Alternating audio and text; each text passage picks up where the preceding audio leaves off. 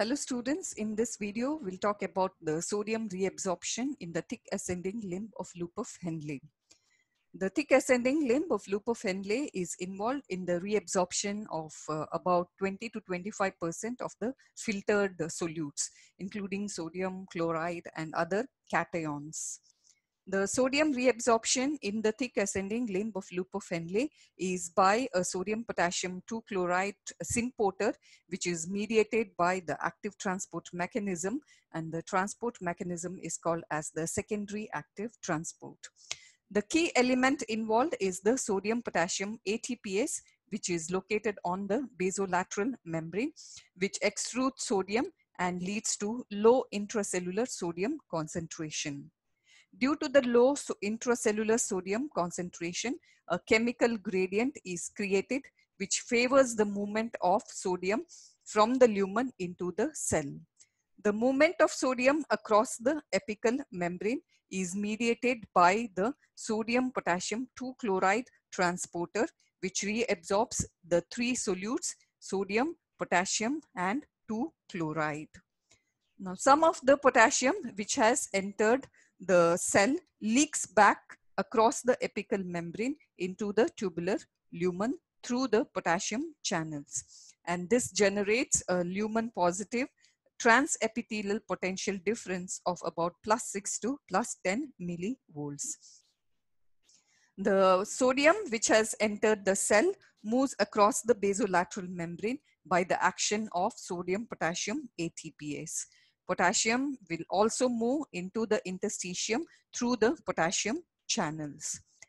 Chloride which has entered the cell moves uh, into the interstitium through the chloride channels which are present on the basolateral membrane. Some of the sodium moves paracellularly due to the lumen positive potential caused by the potassium leak into the lumen this uh, limb of the loop of Henle is impermeable to water. Few drugs can block the luminal sodium potassium 2 chloride co-transporter. So the, when the drugs block the transporter, the, these solutes are not reabsorbed. The unreabsorbed solutes will be excreted and they take along with them water and this will cause diuresis. Now these drugs cause diuresis and act on the transporter protein present in the loop of Henle, so they are called as loop diuretics. To summarize, the solutes are reabsorbed but not water and this results in increased medullary interstitial osmolality. And this is the driving force for the countercurrent multiplier system. At the same time, the osmolality in the tubular fluid is decreased and the, so the fluid which is leaving the loop of Henle to enter the distal tubule is hypoosmotic when compared to that of the plasma. Now, thick ascending limb is impermeable to water, so it is called as the diluting segment of the nephron.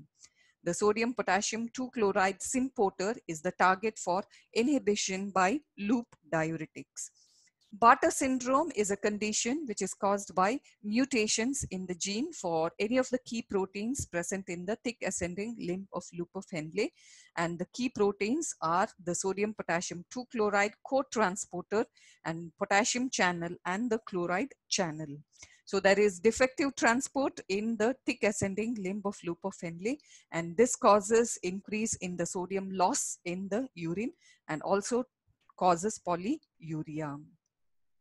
And uh, thank you very much for um, watching and uh, do subscribe to my channel, Simple Concepts in Medical Physiology for more videos.